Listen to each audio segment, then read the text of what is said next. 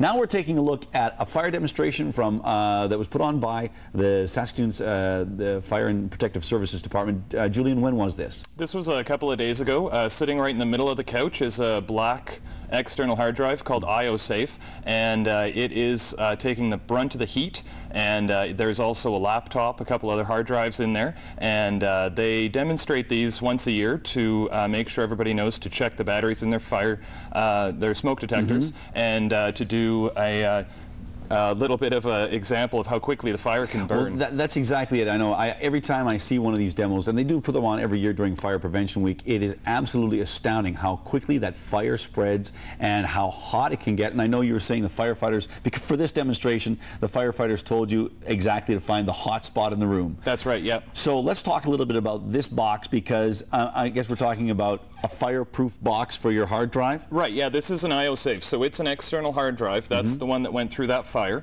and uh, it is uh, shielded for up to 2,000 degrees Fahrenheit. Okay. Uh, so if you have a, a fire, or it's a, also flood and freezer mm -hmm. proof. So even if your basement were to flood, uh, you just send it into IOSafe, and they they take your data off. They okay. also do data recovery if the drive fails. All right. Now, now show, show us what's just to the side of it there. so sitting right beside, okay. I took it apart, and right. then this drive right here was what was inside the IOSafe. So that what came out of this burnt box is that? Right, and it's in perfect condition no both kidding. sides. And this is a regular external hard drive, and okay. that guy is crispy. It's and that would have been in the laptop, or yep, that, that, was in the laptop that we saw. Right. Yeah. Uh, okay. Uh, this guy is uh, that guy actually I let put direct heat, and mm -hmm. then uh, they uh, you can't plug it in. Mm -hmm. You uh, can't access the data unless you send it in for very expensive recovery. Very expensive recovery, no doubt. And I'm just just out of curiosity, what is this? That is a regular external LaCie hard drive, right. and that's what most people use for backups. Mm -hmm. So the connections are scorched. The drive inside is yeah. melted into the plastic. No kidding. No way your data's coming off of that. So yeah. if you have an IOSafe, right. you will be protected.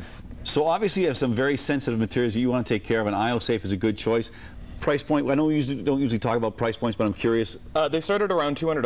Okay. Uh, right now they're 240. Okay. So okay. it's a one terabyte drive. So it's actually right in line with uh, uh regular drives, mm. just a little bit more. It also includes the insurance uh, of uh, data recovery. So even if you have such a bad event that it fails, they'll recover it up to $5,000. Okay. Well, there you go. Well, that's believe me, if you've got some, particularly, I would think people have small business like home businesses and exactly, things like that. Yeah. I would think this would be a very smart investment. You know, you know, perish the thought that fire strikes, but Uh, uh, some really good information there. Well, Julian, thank you so much. Appreciate your expertise as always, and heck of a demonstration for Fire Prevention Week. Thanks, Thanks a lot. for having me, Jeff. All righty.